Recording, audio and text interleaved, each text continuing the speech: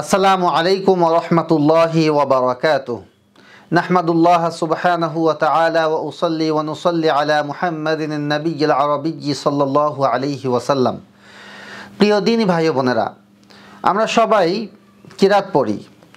বিশেষ করে সুরায় ফাতিহা পাঠ করার ক্ষেত্রে আমরা অনেকেই একটা ভুল করি।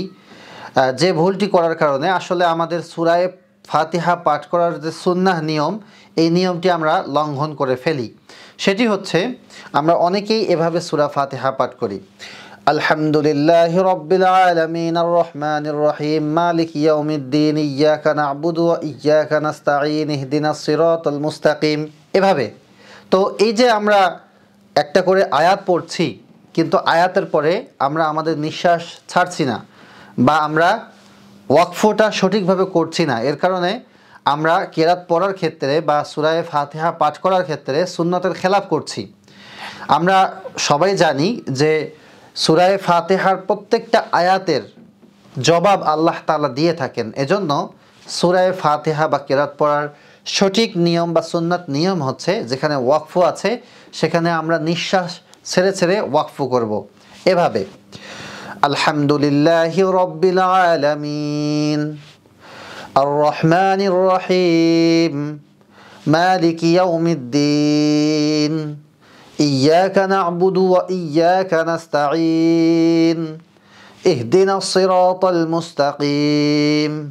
صراط الذين أنعمت عليهم غير المغضوب عليهم ولا الضالين.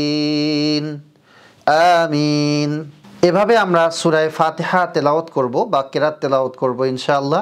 এটাই হচ্ছে সুন্নাহ পদ্ধতি।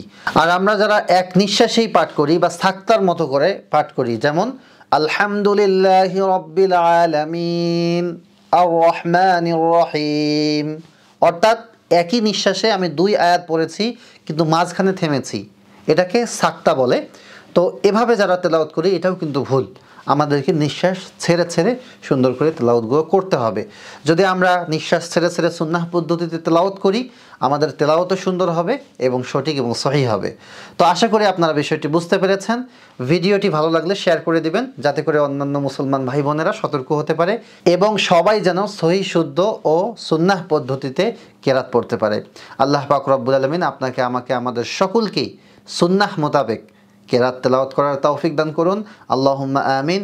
ওয়া আখিরুদ্দাওয়ানা আনিল হামদুলিল্লাহি রাব্বিল আলামিন। ওয়াসসালামু আলাইকুম ওয়া রাহমাতুল্লাহি ওয়া বারাকাতুহু।